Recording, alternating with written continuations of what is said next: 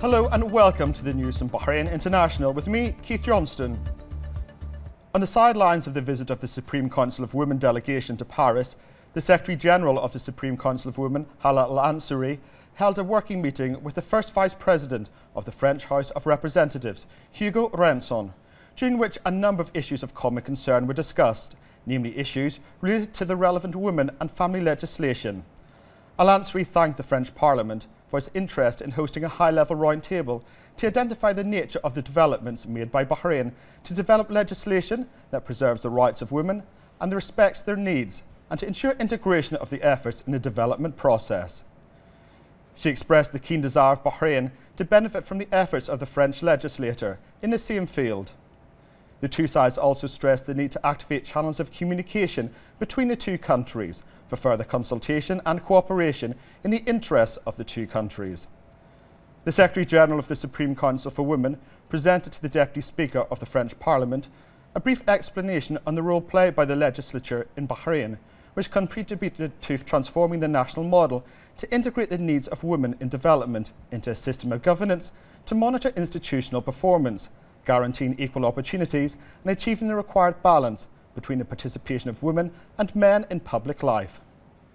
For his part, Mr Renson expressed France's appreciation for Bahrain's advanced experience in the field of preserving and promoting the rights of Bahraini women.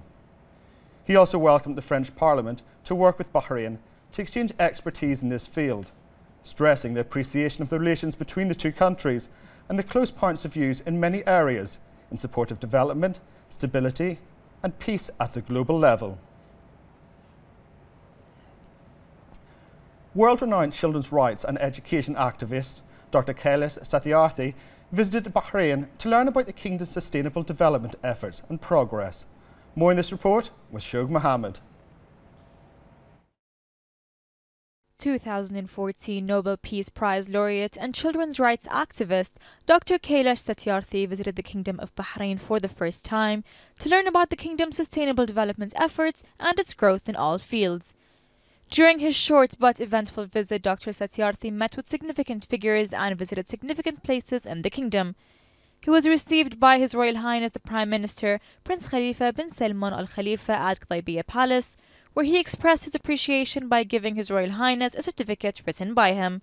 In the certificate, Dr. Satyarthi lauded His Royal Highness the Prime Minister's efforts in achieving political, economic, and social development in the kingdom, as well as his constant interest in consolidating the values of peace, coexistence, and love among members of the Bahraini society. Meeting with the Prime Minister, he is a great guy, he is a visionary, he is a true uh, leader um, with lot of moral authority and lot of compassion and respect for humanity. Satyarthi, accompanied by the Minister of Cabinet Affairs Mohammed Al Mtawa and Sheikh Hassan bin Isa Al Khalifa, also toured a number of historical heritage areas, cultural landmarks, and vital developmental projects in the kingdom. This included Bahrain Fort, the Tree of Life, Khalifa City, and Gravity indoor skydiving. He gave a lecture at the Bahrain National Theatre about children's rights and commended the Kingdom of Bahrain for their tremendous efforts to ensure the development and education of all children in the kingdom. Bahrain has been able to achieve a lot in terms of education, and more importantly, the issue of um, girls' education. Um, it's amazing to see that in a short span of time, the kingdom has been able to uh, make education free and compulsory, uh, not only for boys but also for girls. And that is now visible. The result is visible. Everywhere one can see uh, the women are working and they feel safe while working. They are uh, engaged in the in the nation building activities. So that is possible because of uh, education. He also met with the Minister of Labour and Social Development Jamil Hmeidan and toured the Child Protection Centre and the Batelco Child Welfare Home. Satyarthi praised the centres and described them as exemplary in providing protection and care for the children. He asserted that Bahrain deserves every respect and is a model to emulate internationally in regards to the protection of children. I am very impressed by the way the government and society here is taking care of their children. I have been to this one stop center where the complaints of uh, abused children are recorded and reported and then analyzed properly. Um, how the social workers, psychologists, doctors, police uh, work hand in hand. So it, it's very professional as well as uh, the people were very passionate, very involved. Satyarthi ended his visit by touring the historical and heritage areas in Muharraq, as well as the 200 year old Hindu temple in Manama, where he met with the people of his faith and learned more about the religious freedom and peaceful coexistence present in the Kingdom of Bahrain.